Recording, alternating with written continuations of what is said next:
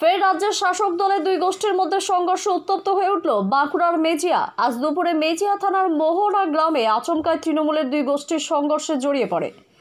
ঘটনার খবর পেয়ে পরিস্থিতি সামাল দিতে মেজিয়া থানার পুলিশ হাজির হলে আক্রান্ত হতে হয় পুলিশকেও। পুলিশের একটি গাড়িতে ভাঙচুর চালানো হয়। পরে বিশাল পুলিশ বাহিনী ঘটনাস্থলে পৌঁছে পরিস্থিতি নিয়ন্ত্রণে আনে। ঘটনায় পনেরো জনকে আটক করা হয়েছে। বাঁকুড়ার মেজিয়া ব্লকের মোহনা গ্রামে তৃণমূলের মনিরুল খান গোষ্ঠীর সঙ্গে দীর্ঘদিনের বিবাদ গ্রামেরই আনিসুল খান গোষ্ঠীর। এর আগে একাধিকবার দুপক্ষের মধ্যে সংঘর্ষের ঘটনাও ঘটেছে। আজ দুপুরে আচমকায় আনিসুল খান গোষ্ঠীর লোকজন লাঠি সোটা ও বিভিন্ন ধারালো অস্ত্র নিয়ে মনিরুল খানের বাড়িতে হামলা চালায় বলে অভিযোগ। আর এই ঘটনাকে কেন্দ্র করে এলাকায় উত্তেজনা সৃষ্টি হয়।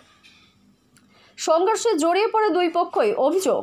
এদিন আনিসুল খানের লোকজন মনিরুল খানের বাড়িতে চড়াও হয়ে বাড়ি ভাঙচুর করতে শুরু করে। বাধা দিতে গেলে মনিরুল খানের পরিবারের সদস্যদের ব্যাপক মারধরও করা হয়। হামলার খবর পেয়ে মোহনা গ্রামে যায় মেজিয়া থানার পুলিশ। অভিযোগ পুলিশ গ্রামে ঢুকতেই আনিসুল খানের লোকজন পুলিশের উপর চড়াও হয়ে পুলিশের গাড়িটি ভাঙচুর করে। এরপরেই আনিসুল খানের লোকজন এলাকা ছেড়ে পালিয়ে যায়। পরে মেজিয়া থানা থেকে বিশাল পুলিশ বাহিনী ঘটনাস্থলে পৌঁছে পরিস্থিতি নিয়ন্ত্রণে আনে। গ্রাম জুড়ে চলে ব্যাপক ধরপাকড়। এলাকায় উত্তেজনা থাকায় গ্রামে বিশাল পুলিশ বাহিনী মোতায়েন করা হয়েছে।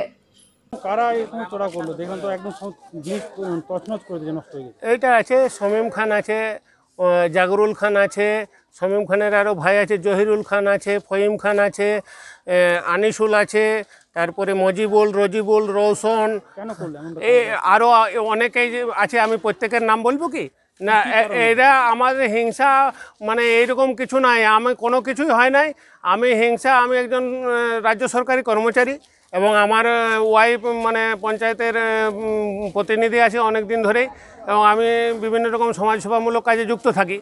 এরা হিংসায় বিনা কারণেই অনেক দিন ধরে আমার, এর আগে ইতিপূর্বে বাগান বাড়ি পুড়িয়ে দিয়েছে, অনেকগুলো বাগান কেটে দিয়েছে, এর আগেও আমার বাড়িতে ওরা আক্রমণ করেছিল কয়েকবার, বাড়ি ভাঙচুর করেছিল, আজ একদম সমস্ত জিনিসপত্র আমার ক্ষতি করে দিয়েছে এবং এমনকি আমাকে প্রাণে মেরে দিত, ওদের কাছে পিস্তল ছিল, তারওয়াল ছিল, টাঙ্গি ছিল, আমি কোনো রকমে বেঁচে গেছি, আমি এর আগেও বারবার দু মাস থেকে পুরো জোর চলছে, আমি মেজিয়া থানার বড়োবাবুকে বারংবার বলা সত্ত্বেও খুব একটা আমার চূড়াও হয়নি। আমি তেইশ দিন বাড়ির বাইরে গ্রাম ছাড়া ছিলাম গত মাসে।